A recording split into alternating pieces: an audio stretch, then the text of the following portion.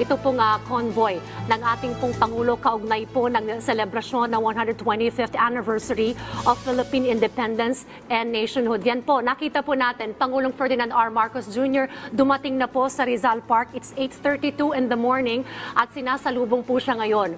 Um, inaasahan po natin na siya po ang mangunguna sa selebrasyong yan at nauna na po ang uh, ipanarating po ng ating Pangulo ang kanya pong pagbati through an online post na sinabi po niya na ah, kanya pong ah, binibigyang pugay ang ginawa po ng ating mga ninuno para po ah, makamit ang ating kalayaan na tinatamasa po ngayon. Nakita po natin sinalubong po siya ni Manila Mayor Hani Lacuna. Kasama rin po ang First Family. Nakita po natin si Congressman Sandro Marcos at ang ilang po pong anak po ng ating Pangulo at nakita rin po natin si First Lady Liza Araneta Marcos. Turnover po natin kay Aljo at Angelica na sa Rizal Park. Go ahead. Yes, maraming salamat Dayan. At tulad nga lang nasabi ni Dayan, ay nakarating nga ang ating Pangulong Ferdinand R. Marcos Jr. kasama si First Lady Lisa Araneta Marcos at ang kanilang mga anak. At sinalubong nga po sila ng ah, alkalde ng Maynila na si Mayor Hani Lacuna. At ito po, magsisimula na po ang seremonya dito. Unang-una ang pagtaas po ng ah, watawat ng ating ah, bansa.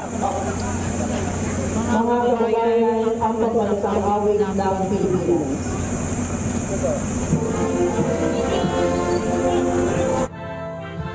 Unan,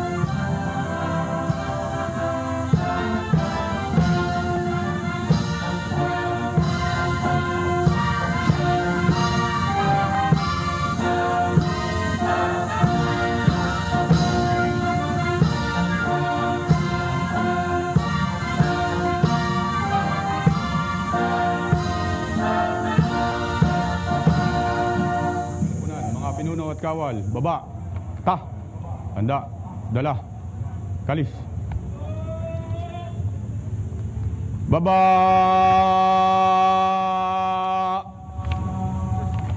Ta!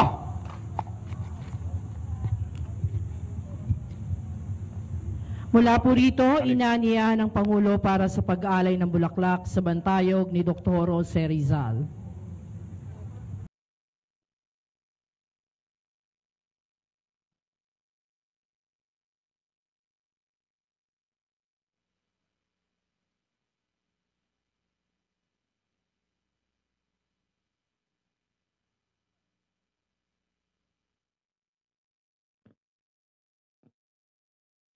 Atin ang saksihan ng pag-aalay ng bulaklak sa bantayog ni Dr. Jose Rizal.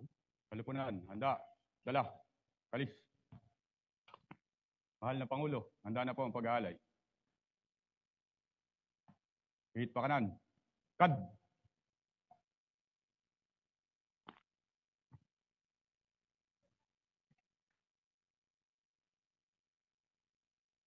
Mag-aalay ng bulaklak sa nasabing bantayog ang ating Pangulong Ferdinand R. Marcos Jr.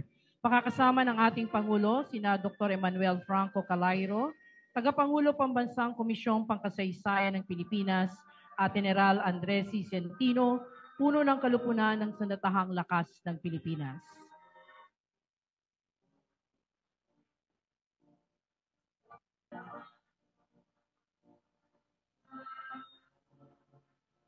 Inaman ko ang unang pamilya kasama ang punong lungsod ng Maynila.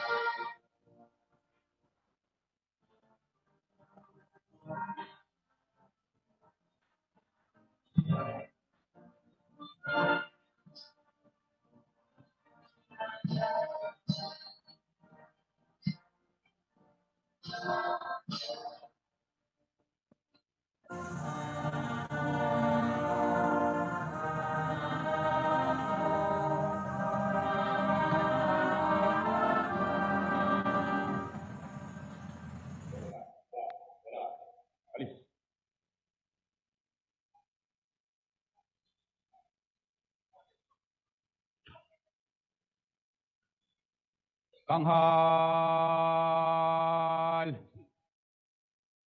Ta! Kalupunan, mga pinuno at kawal, tanghal. Ta!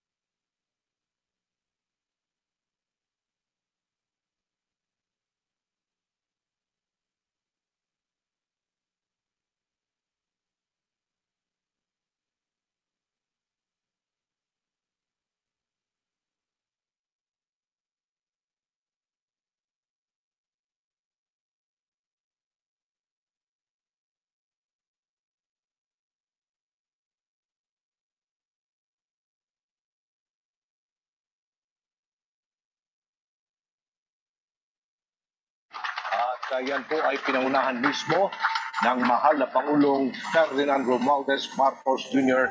kasama po ang uh, unang uh, pamilya. Dahil uh, nakisabay ang panahon, Angelic Bayan, tumila ang ulan at tayo nagpapasalamat. Ayun po ay uh, Yes. ah, Naglalakad na po ang uh, unang pamilya, pati ang Pangulong uh, Ferdinand R. Marcos Jr. At sila ay pasakay na ng kanilang uh, sasakyan. At uh, sila ay magtutungo po sa grandstand ano po, para sa pagpapatuloy ng iba pang mga aktibidades mula po dito. At uh, kung nyo mapapansin, uh, binalik ano, sa original na schedule ang uh, nangyari po dito